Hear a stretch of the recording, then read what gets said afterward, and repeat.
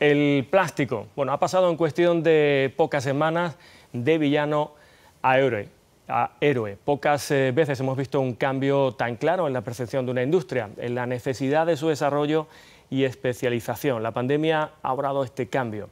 Hay mucha investigación y mucho desarrollo en este sector y los medios es cierto que demasiadas veces ponemos el acento en la parte negativa que la puede tener de la industria del plástico, eh, pero que tiene que ver seguramente más con la gestión que nosotros hacemos de ese plástico. Bueno, vamos a hablar con Juan Melgarejo, que es director general de Innovate Film Solutions.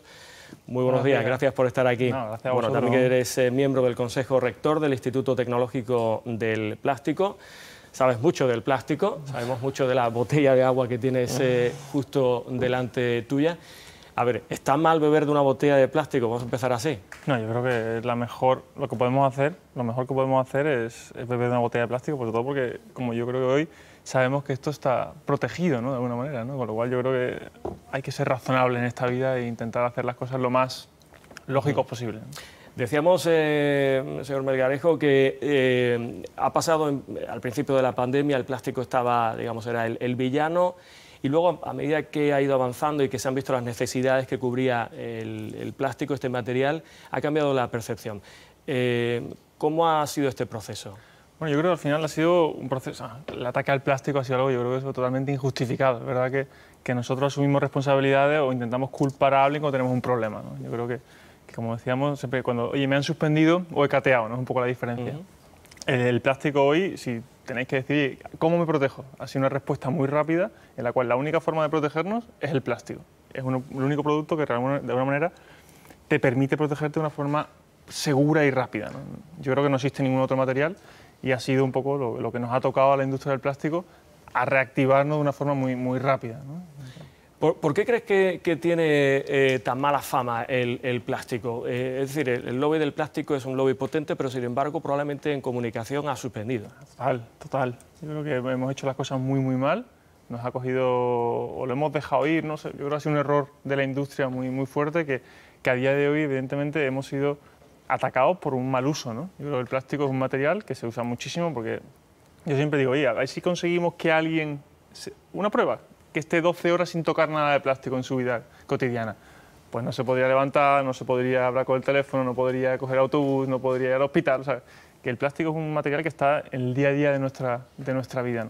Pero realmente es que como nosotros hacemos las cosas mal, pues no, pues al final el fruto es que veamos la tortuguita ¿no? Eh, con la bolsa de plástico y digamos, hay que acabar con el plástico. Es curioso porque además hoy, digo, hoy sale la tortuguita con la mascarilla ¿no? del COVID.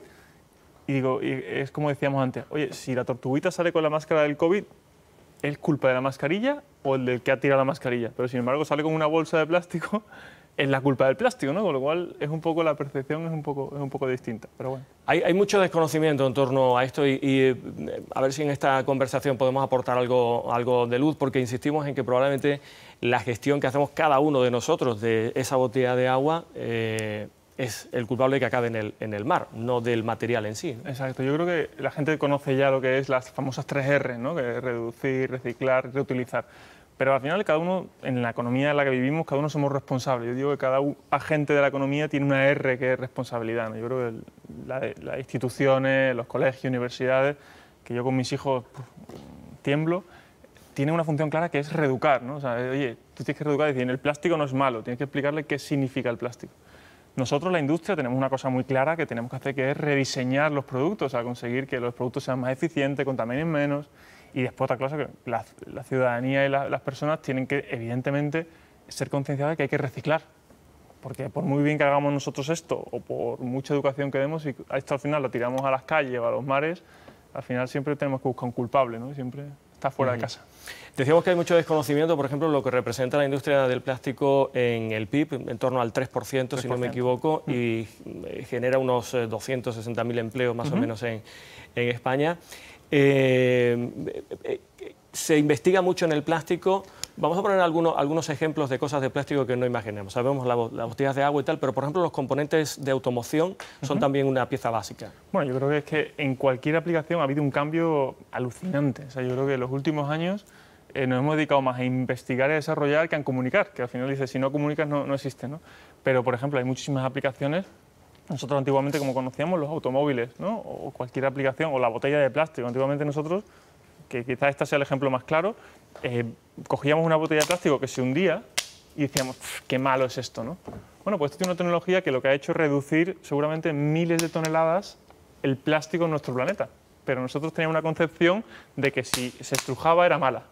O en la automoción, la automoción yo creo que es uno, unos factores clave. Hemos reducido muchísimo el peso en los vehículos. ¿Esto qué quiere decir? El coche es mejor, mejores eficiencias, más económico para, para la mayoría de ciudadanos y sobre todo que contamina menos. Porque al final al pesar menos consume menos energía, consume menos combustible y al final lo que parece un mal estamos, es, un bien a largo plazo.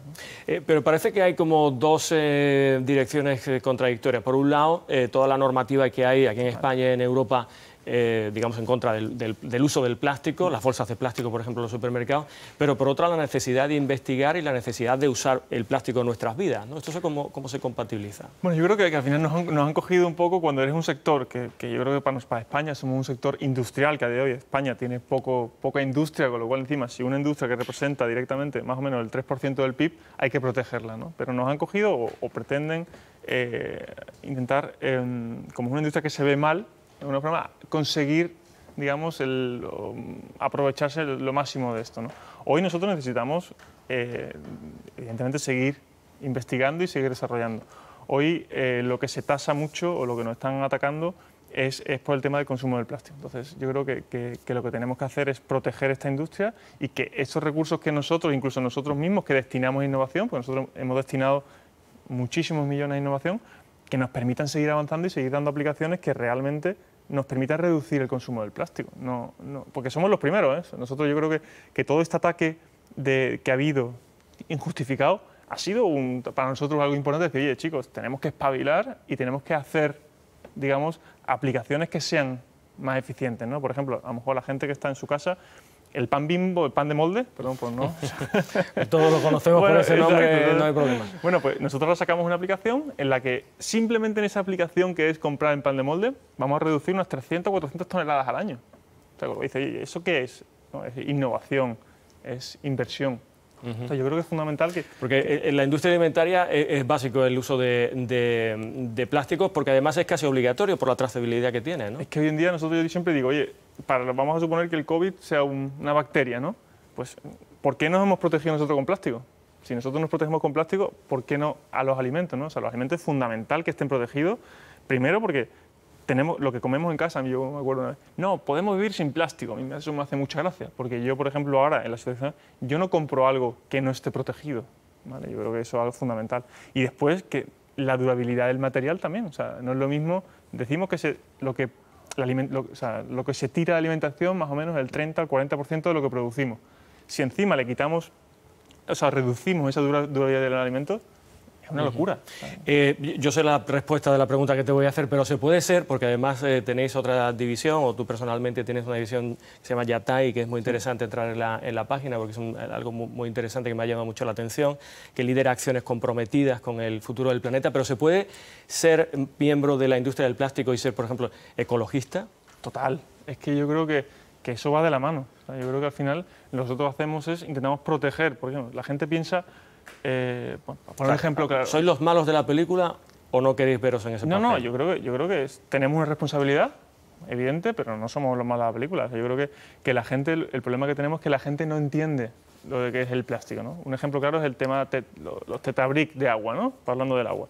La gente piensa que, que comprando una bote, un cartón de agua es mucho mejor que esto. Y la gente lo que tiene que hacer es, para entenderse, abrir el tetabric y ver que hay cartón y que hay plástico. Y que pasa de un producto de ser 100% reciclable como esto, simple. Para reciclar, como un producto complejo que nos complica el objetivo de reciclabilidad que tenemos marcado tanto a nivel nacional como a nivel europeo. Entonces es importante que, que, a la gente le, le, demos la información adecuada para que la gente entienda y que después juzgue. ¿eh? O sea, yo no digo, pero estoy seguro que si entendiese lo que hace el plástico por nosotros y lo que nos protege, lo que es la conciencia del plástico sería otra. A ver, con la carga impositiva que tiene, con la mala fama que tiene y con el, dinero en investigación que se tiene que gastar las empresas de plástico, ¿sigue siendo rentable? Pues mira, es una buena pregunta. Eh, yo creo que sí. O sea, la industria del plástico nosotros vemos en el futuro porque la, evolución y la, sustitución de productos que estamos haciendo, por ejemplo, un ejemplo claro, ¿no? Si te acuerdas, antiguamente los, los, chalecos antibalas eran de metal, ¿no? Pues pesados y tal. Hoy los chalecos antibalas son de plástico. Entonces, ¿qué pasa? Que el plástico nos permite sustituir tales aplicaciones que tenemos que buscar otros, otros sectores y otros mercados. Pero el plástico es el, mejor, el producto que es más versátil que existe en, nuestra economía. Bueno, estamos con Pepe Arenzana y con Graciano Palomo, ellos también tienen algún comentario que hacer. Eh, Graciano, ¿algún comentario en torno a esto que estamos hablando del plástico, el cambio de imagen y demás que ha tenido eh, desde el inicio de la pandemia? Sí, bueno, es muy interesante, yo estoy aprendiendo mucho, la verdad pero eh, me da la sensación que el tema del plástico, como tantas cosas en nuestro país y supongo que en el resto del, mundo libre, es que se ha politizado mucho. Es decir, eh, parece que defender el, plástico tiene ideología, ¿eh? como tantas cosas, digo. Y no, aquí hay, como está explicando el entrevistado, mm, hay una cuestión técnica, meramente técnica, que realmente eh, si eh, eh, produce, porque está el plástico es petróleo también, ¿no? Es petróleo. Y entonces como hay, digamos, una, una cultura, no digo sin razón, probablemente con muchas razones, pero mm, se ha politizado. ¿No cree usted que, que, digamos, defender el plástico, por decirlo en román paladino, es políticamente incorrecto en los tiempos que corren? ¿Tú lo ves así? Totalmente. O sea, yo creo que al final es una medida, no sé si puedo decir, que es una medida populista, ¿no? De alguna manera, que dice, oye, atacar el plástico porque contamina nuestros mares. Es que, claro, eh, es una forma, digamos, de, atraer a gente que, que, todo el mundo estamos de acuerdo de que proteger nuestras, nuestras playas, nuestros mares, es una motivación, ¿no? De alguna popular. Pero claro, el problema es que no conocen la otra parte. Yo siempre, siempre digo, eh, nosotros queremos, vamos a proteger nuestra tortuguita, ¿no? Pero es que si protegemos la tortuguita, atacamos al oso polar, porque si cambiamos el plástico por otros materiales, lo que estamos haciendo es generar más contaminación de CO2, con lo cual sube la temperatura, con lo cual el oso. Con lo cual, ¿qué prefieres, tortuguita o oso? ¿no? Y tenemos que trabajar sobre, sobre una cosa común. Pero es, una medida totalmente que es... Quizás son mensajes demasiado simples, ¿no? Los que se lanzan como los plásticos sí o plásticos no, sino es como toda la vida que tiene sus matices. Eh, Pepe, ¿tú cómo estás viendo esta cuestión? Sí, yo llevo muchos años dándole vueltas a cuál sería la alternativa en nuestra sociedad a un material como el plástico, ¿no? porque como efectivamente señala está en todas partes y, además eh, contribuye de una manera vital, incluso sanitariamente, por ejemplo, ¿no? No, no, no, nos damos muy bien cuenta de que eh, la introducción del plástico en, nuestros, en, la cadena nuestra cotidiana eh, ha significado o significó hace, hace 50 años una revolución sanitaria, en el sentido de que la limpieza que se consigue mantener en los alimentos o incluso en el consumo diario de poder empaquetar en pequeñas cantidades, ¿no? Ahora que, vivimos en sociedades mucho más atomizadas, de, familias de una o dos personas y que necesitan no compras a granel como se hacían antiguamente en una vasija, ¿no? Y, se compraba para mucho tiempo. Pero veo difícil la reducción del consumo del plástico porque además, aunque se haga una reducción a nuestro nivel, en nuestra sociedad, entiendo, por ejemplo, por lo que conozco de mis años eh, viajando y tal, que en otras sociedades, por ejemplo en África, casi que, dan puñaladas por tener un bidón de plástico, es tener una, riqueza, ¿no? Porque en vez de una vasija enorme de barro que hay que ir al río por agua, solo con un bidón de plástico son casi ricos, ¿no? Con lo cual la única opción que veo es eh, la investigación por la reutilización del plástico. Y de esto conozco muy poco. El señor Melgarejo, evidentemente, es el que sabe de esto. No sé si hay alguna forma de reutilización de ese plástico ya usado, por, un lado, porque nosotros hacemos el reciclaje, pero no sabemos a dónde va, ¿no? Y por otro lado, los materiales nuevos que puedan ser degradables. Correcto. Sí, yo creo que además ahí nosotros estamos trabajando mucho porque lo que hemos hecho, hemos, le hemos exigido al plástico tanto, o sea, es decir, claro, nosotros ahora lo que, hemos, lo que hablabas un poco de África, ¿no? África utiliza eh, productos muy básicos, ¿vale? Que esos son muy fácil reciclables. Nosotros le hemos exigido tanto al plástico que lo que hemos hecho espérate que tengo una mosca aquí, lo que hemos hecho es complicarlo mucho. Hoy nosotros la innovación que tenemos que hacer y el desarrollo que tenemos que hacer es volver a generar productos que cumplan con la sanidad y, la protección que necesitamos para nosotros y para nuestro alimento, pero que tengan que sean simples, que sean fáciles de reciclar. Es decir, eh, hoy en día la economía circular es lo que hacen que sean el monoproducto, es decir, que podamos todos los productos se puedan separar y reciclar muy fácil. Hoy es una, digamos, un proyecto y donde toda la economía la que estamos nosotros haciendo es que nosotros seamos, o los productos que hagamos, sean simples, sean fáciles de reciclar, porque si no, si seguimos haciendo productos complicados, esa, esa, bueno, ese ideal de reciclabilidad es muy complicado, aunque, aunque la sociedad eh, nos apoye. ¿no? O sea, con lo cual, tenemos una tarea como industria que todavía tenemos una, una gran batalla que, que que realizar. Esa, eh, eh, ese es probablemente el futuro, la, investigación es por donde va. También eh, se relaciona mucho con el desarrollo de las impresoras 3D, ¿no? que también usan fundamentalmente plástico, entendemos. ¿no? Que hoy, si nos pusiésemos a ver todos los plásticos que hacemos, quedaríamos alucinados. Pero las 3D es una evolución, evidentemente. Hoy eso va a generar una eficiencia, un consumo energético menor y sobre todo una aplicación en la que te permite no hacer lo que exactamente lo que necesitas. Hoy nosotros tenemos mucho problema con el tema del desperdicio, ¿no? que es una preocupación, pero es una innovación espectacular. O sea, hoy con 3D haremos de todo, o sea, coches, barcos, casa, lo que se os ocurra. Eh, lo haremos con, aplicaciones como esta. ¿no? Hay una cuestión que, no quiero dejar pasar y es que con el tema del reciclaje hay un reciclaje muy simple que es el que hacemos muchas veces en casa. ¿no? Es decir, esa botella luego la rellenamos otra vez y nos sirve de agua. No sé si esto estarán muy contentos los productores de, comercializadores de agua, pero es así. O la bolsa de plástico también, ¿no? que tenemos en, casa, lo utilizamos como bolsa de basura o como bolsa para, transportar.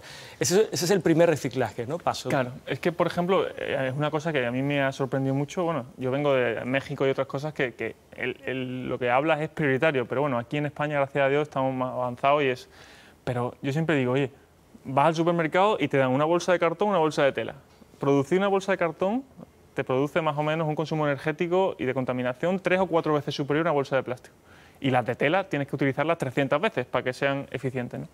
Pero cuando tú llegas a casa, que nuestro principio es reciclar, la única bolsa que se recicla, se reutiliza, se, se reusa es la bolsa de plástico, porque al final tú tienes tu bolsita con todas las bolsitas de plástico hechas y las vuelves a utilizar. ¿no?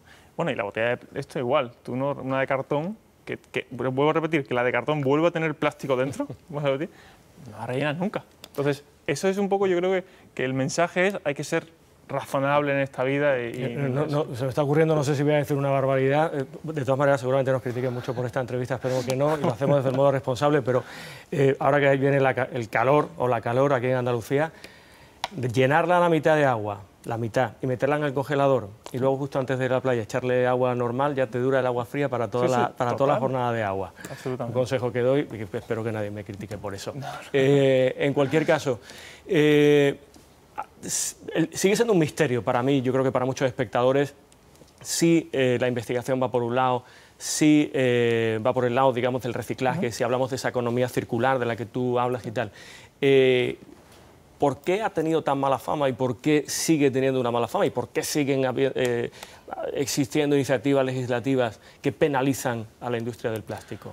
Bueno, porque realmente el consumo de plástico es, brutal, ¿no? O sea, brutal porque es, un, como decía antes, yo no, sé otro material que, pueda ser sustituido por el plástico. Pero también nosotros, Europa y España, están haciendo las cosas bastante bien. O sea, nosotros, bueno, España estábamos entre el cuarto, el sexto, el séptimo país europeo que más recicla. Es que hay las clasificaciones, sabes que las listas cambian de una cosa a otra.